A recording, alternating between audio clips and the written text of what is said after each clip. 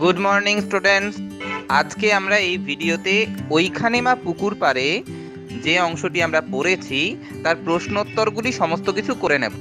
দেখো, প্রথমটি, যে প্রথম প্রশ্নটি আছে, সেটা হচ্ছে পাঠ থেকে বর্ণ নিয়ে খালি ঘরে বসাও। এবং প্রথমটি করে দেওয়া আছে, গয়ে আকার লেখা ছিল, ফাঁকা ঘর দেওয়া ছিল, সেখানে একটা শব্দ বসাতে হবে, সেটা বসিয়ে দিয়েছে, ছয় একার। গয়াকার ছয় একার হয় গাছে। এর পরের যেটি সেটা আমরা করব, লয়ে কার আছে, ফাঁকা ঘরে আমরা যে মূল পদ্যটি আমরা পড়েছি, সেইখান থেকে শব্দ বের করে নেব। দেখো একদম শেষের দিকে আছে কাঠ কাঠবেড়ালি লেজটি তুলে? তাহলে লয়েকার আছে, আমরা এখানে বসিয়ে দেবো বর্গীয় জ লয়েকার বর্গীয় জ, লেজ। তারপরে দেখো পয়ে আকার আছে, আমরা পয়ে আকার পাশে বসিয়ে দেবো তয়ে আকার। পয়াকার টয়াকার পাতা। তারপরে দেখো, হয়ে আকার আছে। এখানে আমরা হয়ে আকারের পাশে বসিয়ে দেব ত। হয়ে আকার ত, হাত। তারপরে দেখো, খ আছে। খয়ের পাশে আমরা বসিয়ে দেব হর্ষই খই খ হর্ষই খই তারপরে দেখো, ময়ে একার আছে। আমরা ময়ে একারের পাশে বসিয়ে দেব ঘ। ময়ে একার ঘ, মেঘ। তারপরে দেখো, চয়ে আকার আছে। চয়ে আকার, কয়ে আকার চাকা। আমরা ফাঁকা ঘরে কয়ে আকার বসাবো। চাকা। তারপরে দেখো, ধয়ে আকার আছে। এইখানে আমরা ধয়ে আকার দন্তে ন করব। ফাঁকা ঘরে বসাবো দন্তে ন। ধয়াকার দন্তে ন, ধান। তাহলে লয়েকার বর্গীয় জল লেজ কয়াকার ক্ষয়াকার পাখা। তারপরে হয় আকার ত হাত। অথবা আমরা পয়াকার তয়াকার পাতাও করতে পারি। এছাড়া যে চারটি বাকি আছে, সেটা হচ্ছে খ, হর্ষই খই, ময়কার ঘ, মেঘ। চয়ে আকার আছে, আমরা একটু আগেই করলাম চয় আকার কয়াকার চাকা এবং ধয়াকার দন্তেন ধান। পরের প্রশ্ন, দুই নম্বর দাগের শূন্যস্থান পূরণ করো। প্রথমটা দেখো, করে দেওয়া আছে, ওইখানে শূন্যস্থানে লিখেছে মা, পুকুর পাড়ে তারপরে শূন্যস্থান গাছের আগে হবে জিয়ল গাছের। শূন্যস্থানে আমরা জিয়ল গাছের করব, জিয়ল বসাবো। তারপরে শুকনো, শূন্যস্থানে বসাবো পাতা। শুকনো পাতা বিছিয়ে ঘরে থাকব দুজনেই। পরেরটা বাঘ এবং পরেরটাতে ভাল্লুক। বাঘ, ভাল্লুক অনেক আছে। এরপরে দিন রাত্রির কোমর বেঁধে। আমরা শূন্যস্থানে বসাবো দিন রাত্রির তারপরে দেখবে আমি দাঁড়িয়ে আছি ধনুক নিয়ে হাতে, শূন্যস্থানে ধনুক এবং আমরা দাঁড়িয়ে লিখব।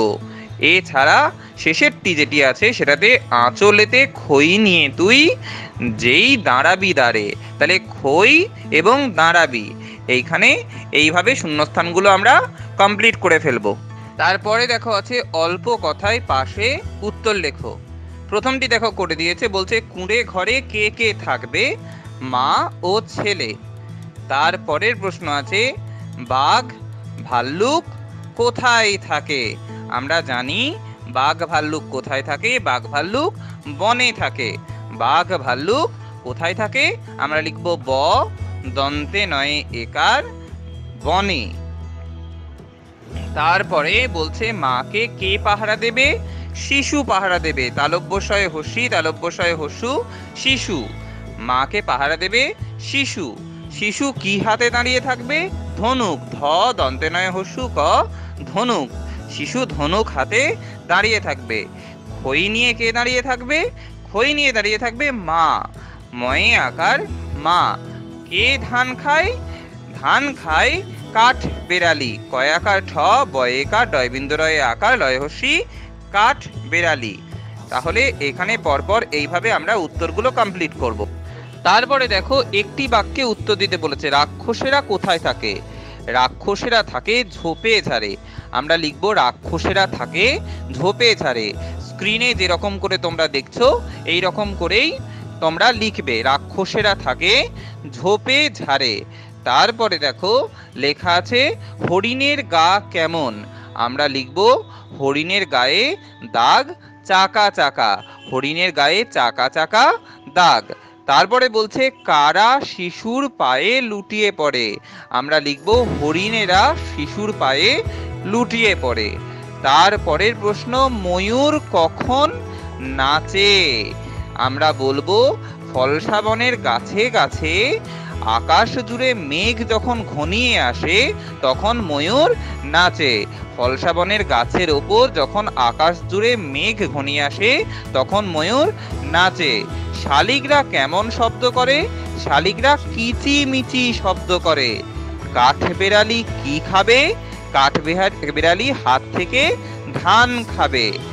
তারপরে শেষ প্রশ্নটি আছে, কবিতায় উল্লেখ রয়েছে, এমন দুটি পশুর নাম বলো। এমন দুটি পশু লেখো, কাঠবেড়ালি এবং হরিণ, অথবা লেখো হরিণ এবং বাঘ। আমাদের এই সমস্ত প্রশ্নোত্তর আজকে শেষ হয়ে গেল।